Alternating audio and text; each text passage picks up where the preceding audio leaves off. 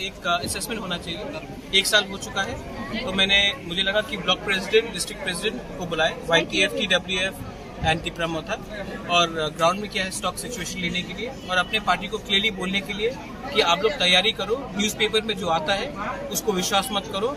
हम लोग, अगर हमें राइटिंग में किसी ने कुछ नहीं दिया तो हम लोग अकेला फाइट करेंगे। और हमको अपना संगठन को स्ट्रॉन्ग करना है। और इसी के लिए हमने आज मीटिंग बुलाया था और अच्छे से बात हुआ। और अब एक सिस्टम भी बना रहे हर एक महीने के बाद मैं डिस्ट्रिक्ट प्रेसिडेंट से मिलूँगा और दो महीने के बाद ब्लॉक प्रेसिडेंट से। जो ब्लॉक लेवल का प्रॉब्लम कभी कभी आपके कंप्लेन आता है जो सब ठीक ठाक चल रहा है या अभी भी नहीं देखो कोई भी प्रॉब्लम प्रॉब्लम तो हमेशा रहेगा। लेकिन अगर लीडरशिप ईमानदारी से काम करे तो बहुत चीज़ सॉल्व हो सकता है। और हमारे बीच में आंचलिक पार्टी में एक सिस्टम का प्रॉब्लम था।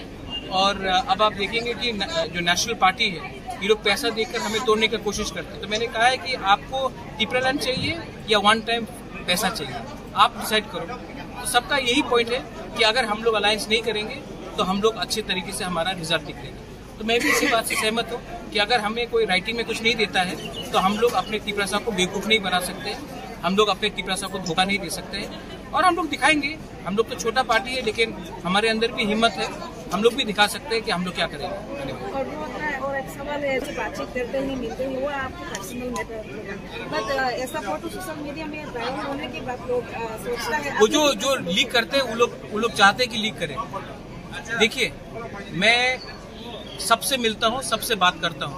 लेकिन ज़िंदगी में एक बार भी तीपरा लैंड को कॉम्प्रोमाइज नहीं करूँ क्योंकि ये हमारा लोगों का बात है। अगर गाँव में पानी नहीं है तो मैं पानी के बारे जाकर मंत्री से नहीं बात करूँ। अगर गाँव में बिजली नहीं है तो मैं पावर मिनिस्टर से बात नहीं करूँ कि, ये गाँव में बिजली मत दो। अगर गाँव में साइक्लोन के बाद बहुत प्रॉब्लम हो रहा है या रास्ता खराब है तो मैं पीडब्ल्यू से बात नहीं करूँ कि हमारे रास्ते को ठीक करो, या फिर हम सिर्फ़ चुप रहे और इसको इलेक्शन इशू बनाए। बहुत प्रॉब्लम को आज ही सॉल्व करना पड़ता है।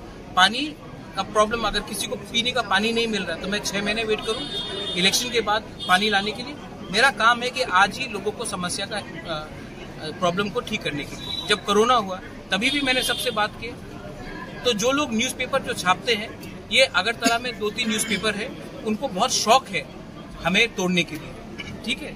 तो अब मैंने भी डिसाइड किया है कि अगले बार मैं अगर मुझे मिलना भी है तो मैं अब दो बार सोचूँगा इन लोग से मिले कि नहीं। क्योंकि मैं अच्छे दिल से मिलता हूँ और ये लोग कहानी कुछ और निकालते हैं। तो अब मुझे भी सोचना चाहिए कि आने वाले दिन में इनके साथ बात करूँ कि नहीं। क्योंकि मुझे नहीं लगता है कि आ, कुछ काम हो रहा है। पब्लिसिटी सब कर रहे हैं और प्रोपोगेंडा करना चाहिए